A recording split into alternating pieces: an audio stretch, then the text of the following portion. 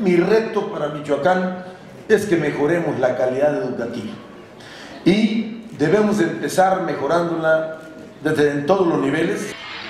Silvano Aureoles Conejo hizo entrega de equipamiento a planteles del CONALEP de la entidad por un monto de 8 millones de pesos. Además, llevó a cabo la apertura del periodo semestral febrero-julio 2016, lugar donde refirió que el rezago de educación básica en el Estado será parte de la historia, ya que su propósito es dignificar y modernizar los planteles educativos en todos sus niveles. Decía hace un momento que si tenemos escuelas dignas,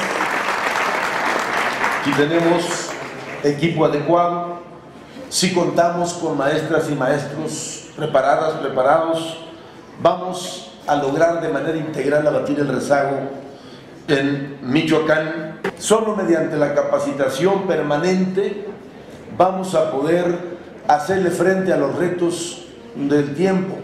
Las cosas van cambiando a una velocidad vertiginosa y si no nos actualizamos nos quedamos rezagados y eso no nos ayuda para sacar adelante a Michoacán.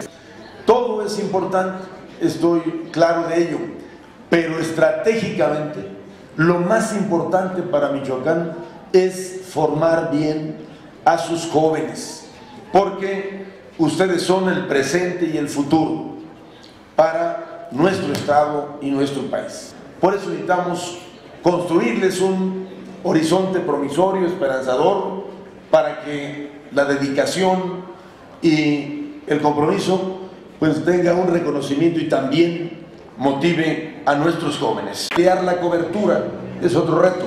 Dos, eh, revisar programas para una vinculación permanente con el sector productivo, si no, no tiene sentido. Permanente con el sector productivo. Tres, el esquema de un primer empleo para que puedan tener experiencia los jóvenes y con ello, cuando se incorporan a la planta productiva, no naveguen. Cuarto, el programa integral de becas, que yo espero alcanzar la meta al final del sexenio